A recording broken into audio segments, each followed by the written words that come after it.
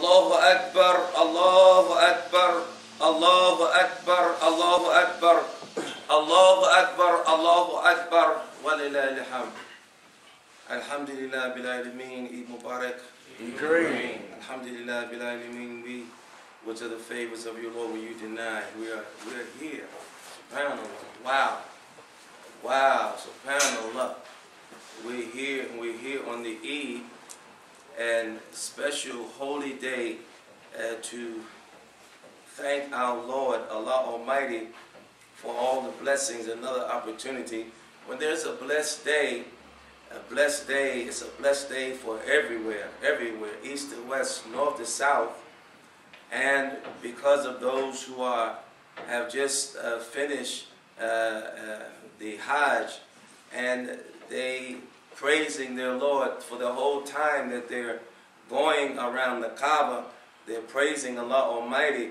From the time they're going to Safa and they're praising Allah Almighty. From the time they're in Muzdalifah, they're praising Allah Almighty. From the time they're on Arafat, from uh, Fajr to Maghrib, they're praising Allah Almighty. They, after that, their beings, they cannot feel themselves. They only feel as one. They don't feel as individuals. The men, when they go on Hajj, they wear two-piece white, top and bottom. The women wear white. The, you have, this is the only time the men and women are praying beside each other, going to the Hajj, shoulder to shoulder, calling out to their Lord, Allah Almighty, not looking left, not looking right, only focusing on Allah Almighty. Allah gives us all kinds of signs to look to Allah Almighty only in this life and in the next life. And it's a training. It's a training. That's why Allah Almighty sent Islam as a means of training us how we may start to be disciplined. Because discipline is a very, very high station. No one can reach anything without discipline. You have a, a, a, champion athlete or an entertainer or, or a scholar or anyone who reaches any kind of greatness, they have reached it because of a discipline, patiently persevering, having restraint and sacrificing, and staying true to what they were pursuing. When we stand up in line for the prayer, it is in order that Allah Almighty has someone to lead the people and to represent that Allah Almighty sent guidance to humanity and humanity has to follow guidance. Guidance comes in the person of someone. So when you have someone who was praying, leading the salat, everyone else is standing in rows behind them. They are focusing on a spot on the floor where they're going to prostrate not looking to their left, not looking to their right, not looking up, not looking around, focusing on their Lord. They are worshiping, praising their Lord. And who is, who is leading the prayer? They have been ordered, we have been ordered to hear and obey, to follow them. When they say Allahu Akbar, we say Allahu Akbar. When they move, we move. That's a training. That's symbolic Allah Almighty sends guidance to human beings for us to hear and obey. The only way back to Allah Almighty is through guidance. And He sends the guidance to human beings. Don't think that anything we do in Islam is not teaching us to accept Islam. When someone who's leading the prayer, when they bow, we bow. When they give salam to the right, we give it to the right. They give it to the left, we give it to the left. We don't do it before them. Why? Because we will be going ahead of guidance. It's the same when someone is giving the khutbah. All eyes should be focused not left or right or up or down, but on the, the one who is giving the khutbah because we are in prayer. We're remembering our Lord Allah Almighty. You cannot remember Allah Almighty except by looking to Allah that that Allah has ordered to represent him is a divine order. 1,500 years they've been having the, the Jumas on Friday. They've been having the two Eids for over 1,500 years. That is the divine order. After the five fasting and after the Hajj. This is divine order. Through the Prophet Muhammad, they say that he is an ordinary man. But yet, that order that came to his heart has filtered 1,500 years to the hearts of believers. I didn't say unbelievers. I said believers who are keeping that order that he received. Fast during month of Ramadan. Establish five prayers. Give charity. Make Hajj if you can in your lifetime.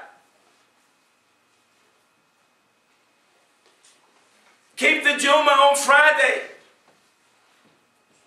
Keep the two Eids.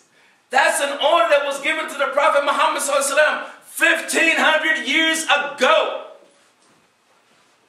And there are two billion people around the world gathering this day because of that divine order that came to the heart of beloved Muhammad That love through his heart has filtered to those people and they had mosques all around the world, east to west and north to south. Takbir! Takbir! Takbir! You think he is ordinary and Islam is a joke? We the joke. We cannot change what Allah Almighty has sent through His beloved Muhammad Sallallahu Alaihi Wasallam. We're always trying to change the rules and regulations based on our own desires. No matter what has happened, Shaitan's will has not to change the will of Islam. It's still growing up. Muslims and believers are still growing up, even in a spite of Shaitan. They're growing up in all kind of adverse situations. Coming up in broken homes, distorted homes, decadent homes, and accepted Islam. Being in bad environments. People worshiping Shaitan drunk, not just drunk from alcohol and drugs and all kind of synthetics, but drunk for the love of dunya. And yet believers are still coming up in the midst of that decadence. They are still keeping the orders, even though Shaitan is on them like white on rice to slow them down and to stop them from doing their duty. There's no compulsion in religion. Truth stands out clear from falsehood. This is not something we have to do. Allah Almighty could make everybody to believe from east to west, north to south. But He doesn't do that. Allah created us with His Spirit, breathed in us Spirit. We've inherited from our grandparents. And yet we allow ignorance to compete with wisdom. You cannot argue with an ignorant person. You will never win against ignorance. You can only guide those who are wise. Because those who are wise will hear and obey. They're not going to debate wisdom. We're looking at the same sun that everyone that Allah Almighty has brought from the spiritual world to the physical. We're watching the same sun that they watched. Nothing's changed. We're human beings like them, no extra tails, no extra eyes. Allah always sent guidance to them because at one time it was, it was no need for Allah Almighty to send prophets to us to remind us we were just obedient people following the will of Allah Almighty, and we were just good people. We enjoined good and we forbade evil. We fought against evil. We guarded ourselves against evil. We don't guard ourselves against evil now. We allow Shaitan to come up in our homes. We allow him to come up in our places of worship. How? We bring Shaitan with us. We become his agents. It's miraculous to get three people that's going to be on the same page. Same mind, same heart. It's miraculous these days. You're talking about people that are here to establish the kingdom of heaven on earth, it's going to take a miracle. But Shaitan is not going to stop it. Let me read to you what happened to Pharaoh.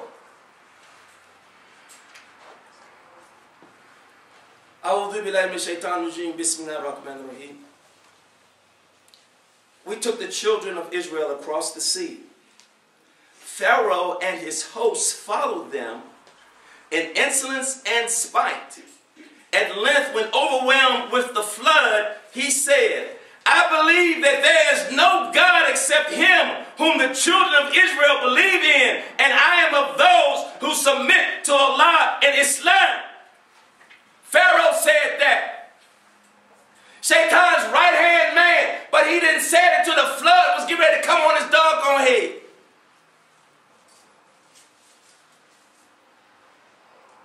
Then Allah says, It was said to him, and now, ah, now, but a little while before was thou a rebellion, rebellion, and thou didst mischief and violence.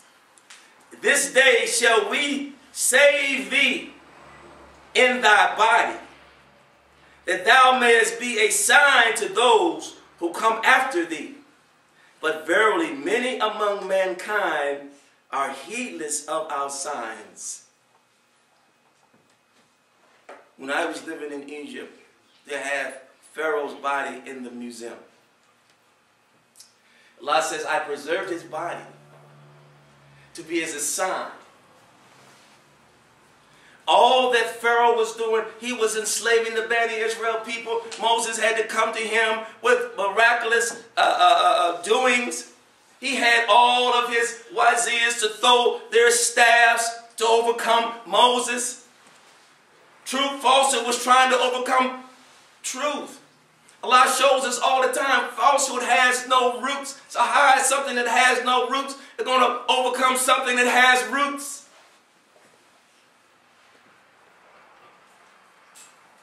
No one stops truth. I don't stop it, you don't stop it. We can just allow our egos to think that we're running something. We ain't running nothing. He said, she said, you know, it was a time during the time of the prophet, peace be upon him, and that the Sahabas, may Allah be pleased with them, Allah is always teaching us through human beings like us. Don't think that they were any different from us in the way of rebellion and being obedient. Same people coming to a woman like us, had to eat, sleep, and drink like us, had to procreate just like us. During Ramadan, the Sahabas, some of them were throwing up. And when they were throwing up, they were throwing up meat. So that's what I'm saying. are you fasting? Yes, we're fasting, we're fasting. And yet they're throwing up meat. They were throwing up meat because they were backbiting the flesh of their brothers and sisters. They were flesh eaters. Backbiting. Shaitan's tool for dividing and conquering. Just like those Sahabas were throwing up and Allah Almighty was exposing them to the Prophet and to themselves falsehood is exposed, it will be thrown up and out. Truth stands out clear from falsehood. Truth will never be defeated by falsehood. We can carry that crap all we want to. You can think that those whom Allah Almighty has have an authority over us to, to, to guide us, we can fight them and sway them all we think. But that's just an illusion in our minds. Everything has a fixed time. Don't you know one day our time is coming when we're going to be in the graveyard? Imagine it. We in a box, being lowered down six feet, dirt thrown on